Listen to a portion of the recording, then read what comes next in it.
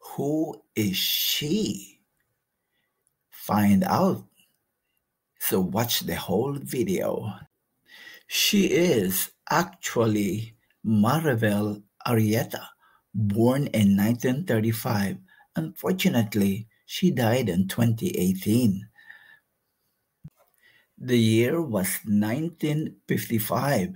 This is when Maribel Arrieta from El Salvador placed first runner-up on Miss Universe. 33 contestants from different countries participated in 1955 Miss Universe, and Yvonne de los Reyes was from the Philippines.